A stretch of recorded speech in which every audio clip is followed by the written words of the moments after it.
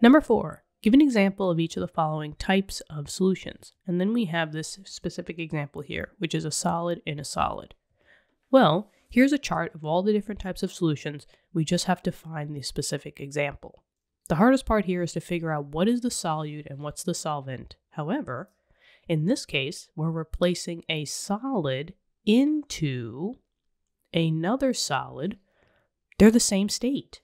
So the smaller solid would be the solute, because the solute is always the smallest piece. And whenever you're throwing it into the larger one, which in this case it's a solid, right? Because a solid is going into a solid, that's the solvent.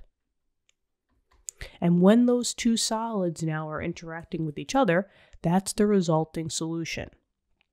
So in here, we have to find a solute that's a solid and a solvent that's also a solid.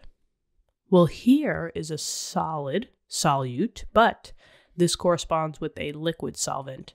The answer would be when zinc solid comes together with copper solid.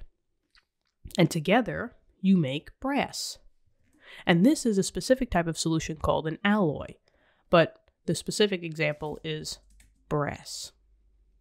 When zinc solid is in